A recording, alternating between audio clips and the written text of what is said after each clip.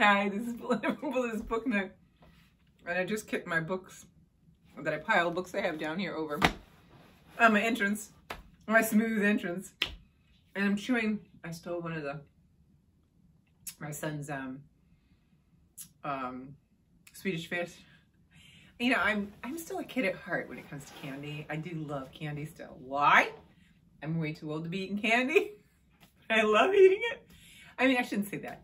Everybody loves sugar. Sugar is just a thing, and you know, it's yeah. So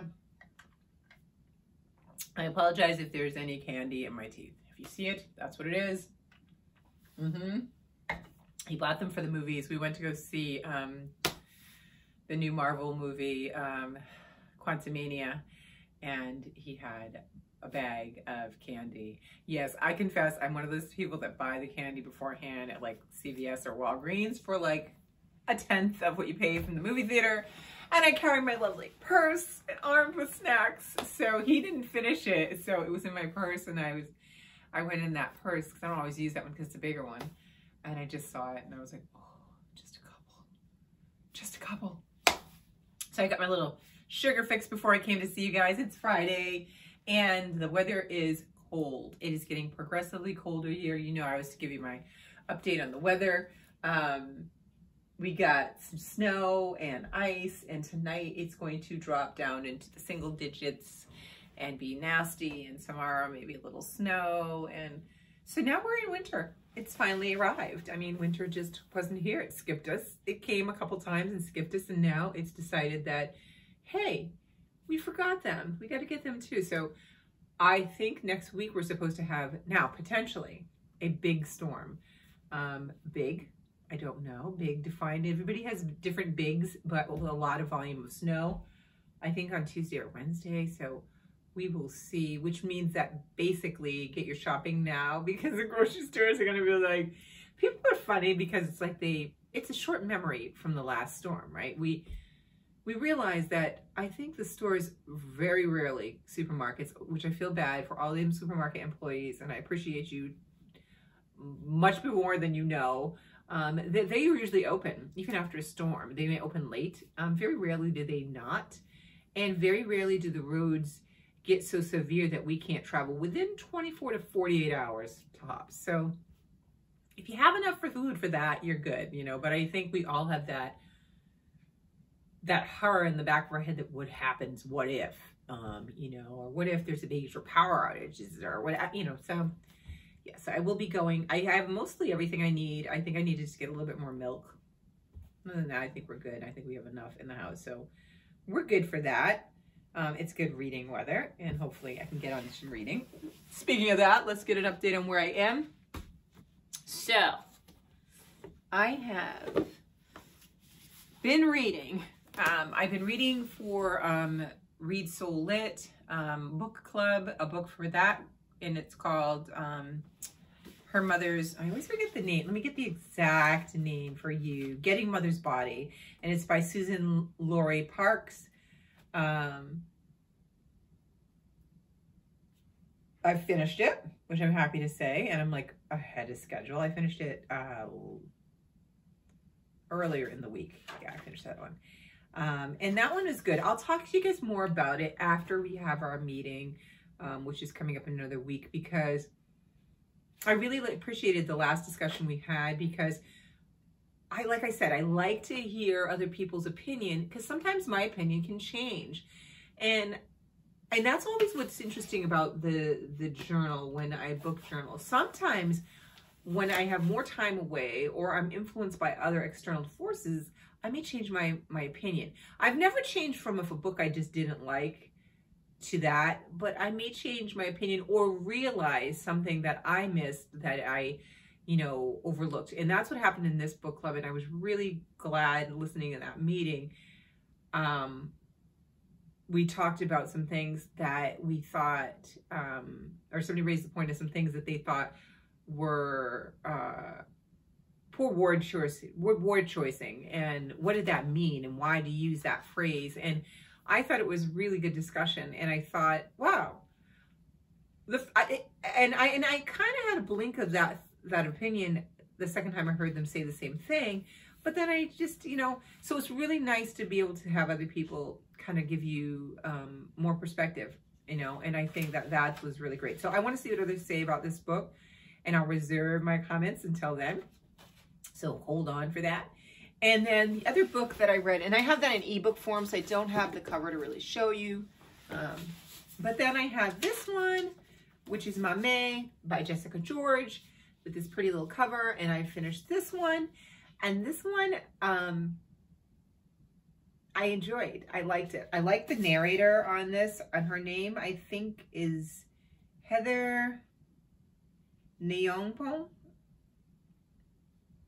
I have, I have to find out how to pronounce her name. I say this all the time. And I said this year I was going to look things up before I get on and talk to you all to, to, the, to remember to to take the time to learn, you know, how people pronounce their name. Because I, you know, I don't like when people mispronounce my name. So, um, so anyhow, um, I thought it was really good. I finished this right before, I think, Valentine's Day. And I thought it was, it was a good book. Um, I thought it was very interesting. It had some, you know, funny parts in it and things like that. And, um, I will talk a little bit, I'll talk a little bit more about these at the, you know, as a wrap up with um, the books. But I, I overall like the book, you know, I thought it was good. So another book that I'm reading, um, and I, I say that, but I don't know if this is really going to be true. And I, and I really don't know. I don't know. Um, this is a buddy read I'm doing with my sister, and it's somebody, Someday Maybe by Onyi um, Nwabineli. Um, and this is the cover. It's really cute book. And what I really think happened is my sister and I looked at the cover and we were like, yep, gonna read it. And then it got a little, you know, plug on Good Morning America, gonna read it. And then we really just didn't think about it. Um, I am, I started listening to the audio to see if I could then attach to this better than I was reading it. I am four hours in. I think there is six hours more. So I still have I don't think I'm halfway through it yet. If I, I have to look, I'm correct. I'm not enjoying it. And so I think my sister's already said no. She doesn't feel guilty and she's letting it go. I feel like I invested the time, that amount of time, that I'm like, should I just keep going and plug through? And what I keep hoping for is that the book is going to change and that there's going to be something else for me to grasp onto that will keep me going. And I'm not finding that. And it's not because maybe that this is a bad book, but maybe that I'm not connecting. I'm not the audience that is appreciating it. Now, let me tell you what it's about. So let me tell you, let me just make sure I get the name, the characters right. Does it, her name, does it tell her name? It's about this Nigerian woman my God, I can't remember her name right now because I just kind of kind of blocked it out. And she finds her husband has killed himself. Um, I believe it's on, I think it's on New Year's Eve or it's during the holidays. And it's her journey, um, kind of processing that grief. And I think that people who watch this channel know me and know that that's probably not a book that I've ever or would have chosen to read. Not that the topic of suicide or any of that or grief is, I'm not, I don't avoid grief. Believe me, we get enough grief in the things that I read. But I feel like, um, every time I'm waiting for something to happen. I mean, she's just depressed. She's trying to process. She's trying to figure out you know, what would compel him to do that?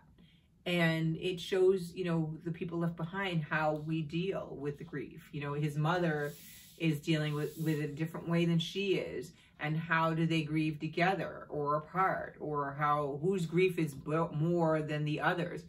Those are valid things to talk about or to think about in a book. But it's just so mundane, so like this. It's just going along like this. And I keep waiting for something else to happen, like to pull her out of this or for her to find out something. What is it? What caused this? What, you know, was he, was he living another life or, and maybe that is in here after I get past the, you know, hour five or six. I'm just like, but I, and, I'm, and I've never tempted to, but I have been tempted to go and just peek ahead and see if there's something that's going to, so I don't know. I will let you know at the end of the month. I'm really torn.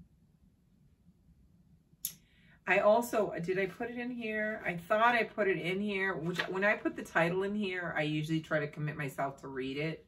Like if I put, like start the page. No, I didn't start it. I just put a post-it. So I could potentially, like it never happened. and what I will do is I will write it in my book journal as one of the books I was going to read it and I'll just say DNF. And I could, sometimes I put down why and sometimes I just don't.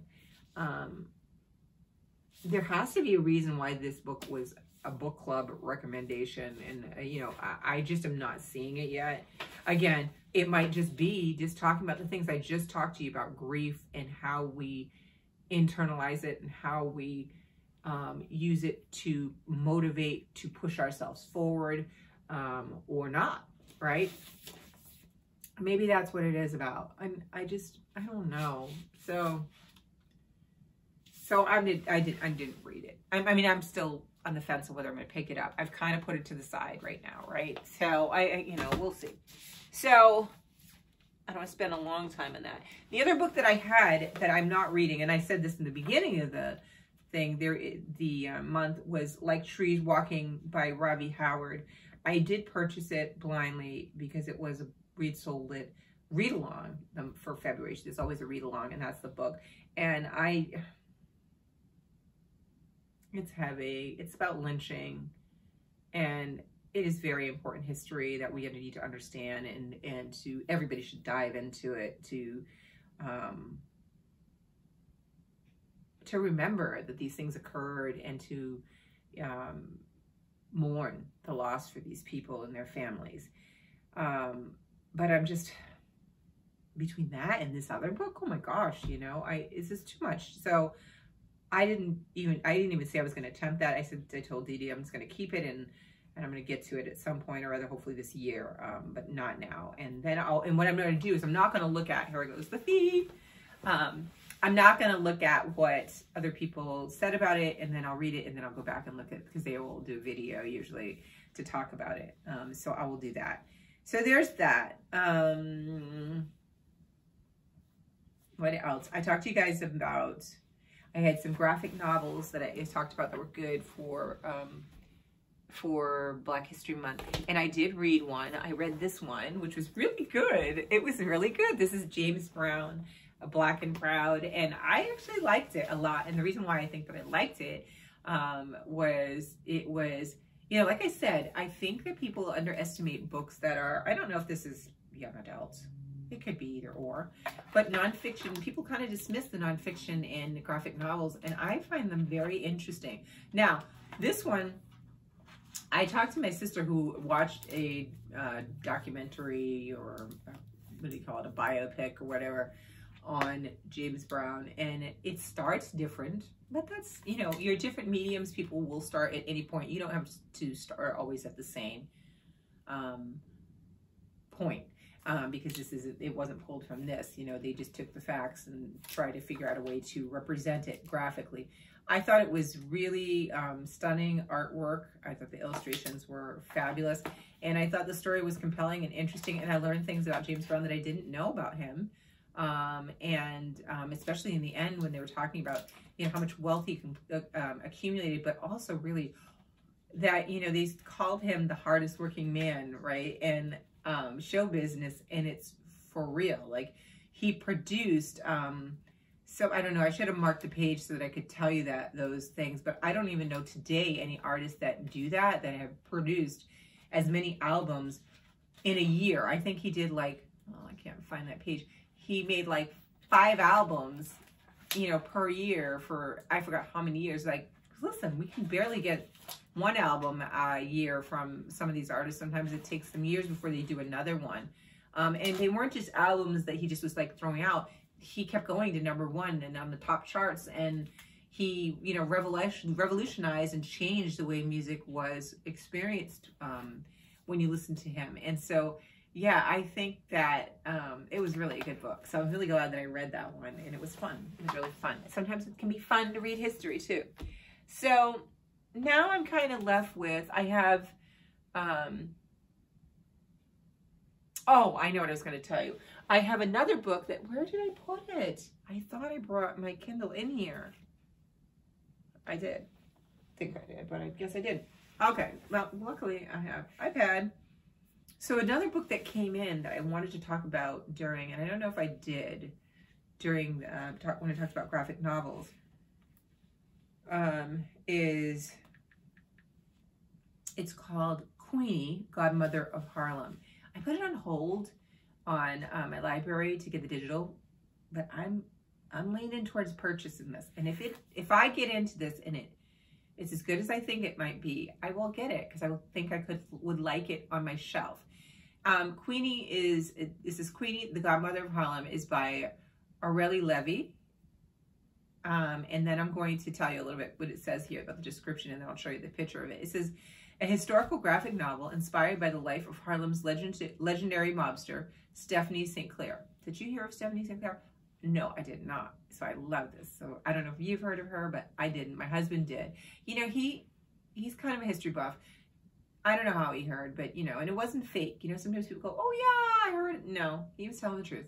But I did not hear of her. And so, anyways, it says Queenie follows the life of Stephanie St. Clair, the infamous criminal who made herself a legend in Harlem in the 1930s.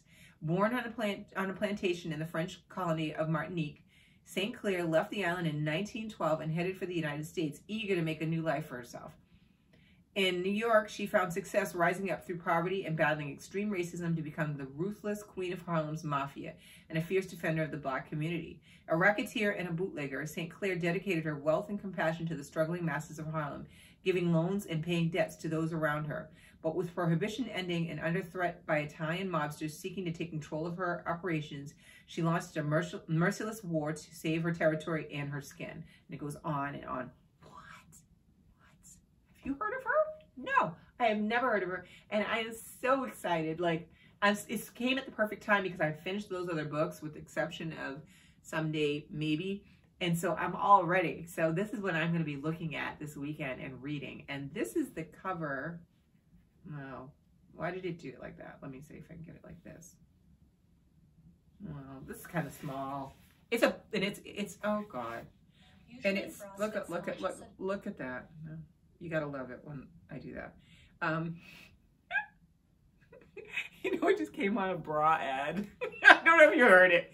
Anyways, this is the cover of it like that. Can you see it? Um, anyway, it, it, it sounds so good. So that's what I'm going to be reading this weekend. Um, the other thing that I'm going to be reading for the weekend is um, my ACLU magazine came and it's got some really good stuff in here that I want to read. Um, one in which one in particular that I'm going to start with um, was um, is the separate. I love and I love the graphics that they do in these little magazines too. I do. So it's this one. It's separate and unequal, and it's talking about um, it says a California school district segregates students of color. The ACLU is suing. So I want to read this because I know nothing about it, but it's about, yeah, this is, it's a pretty good, you know, lengthy article. So I do want to read that one this weekend. And then, um, this is another one I want to read. This one's called Standard of Care. And this one is talking about care for transgender people um, and what the work their ACLU is doing to try to help in that front. So those are two of the ones that are in here that I want to actually make sure I get to before the weekend is over. Um,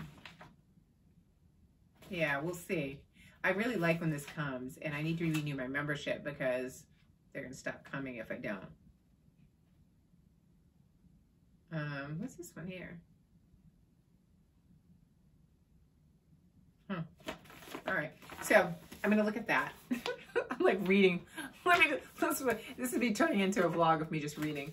So I want to do that. And then I have other options.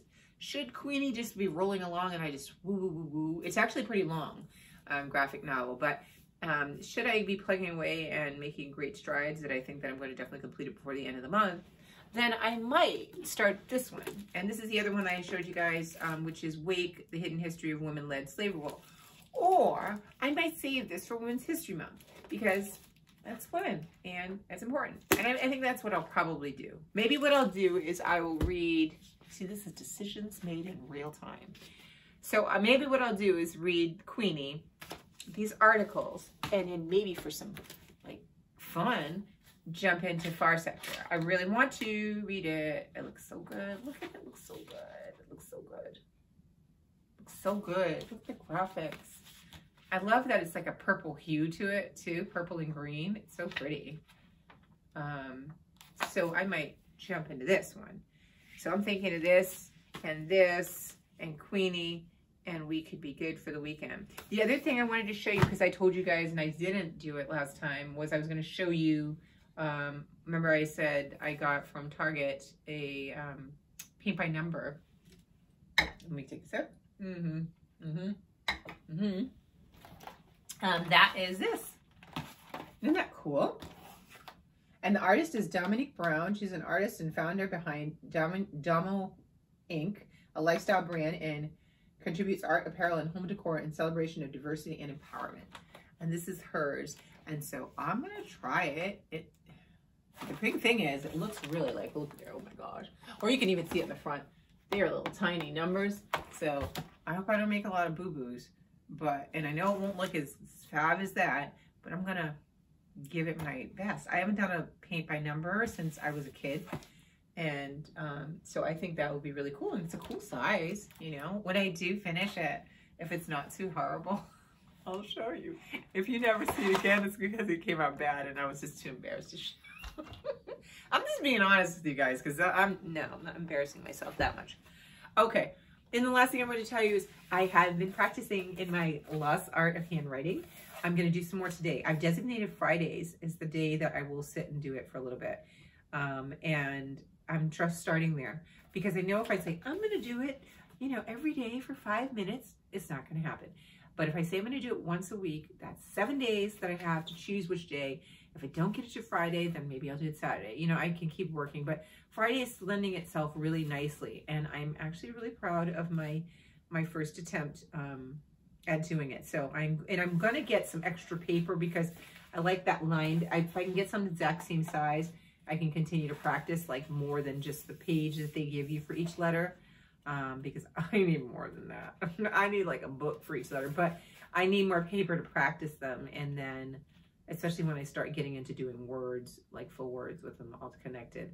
But oh my God, if I can get, I really had pretty decent night handwriting and it's like, it's nowhere near it was. In my hand, it's like your hand is not connected to your brain. It's not doing what I remember I could do. So I'm really excited that and hopeful that, you know, I can retrain that muscle and do it again. So, because I've really been enjoying um, my fountain pens and I also want to, you know, use them more than than I have. So, so there's that. And that's it. I don't have anything else to tell you guys because I think I've babbled. It's always about 20, 22 minutes. I'm always like, yeah, I'm going to go fast or whatever. And it's still the same length. Let me know what you're reading. Let me know how you're doing. Are you getting any snow? Are we the only ones going to get the snow?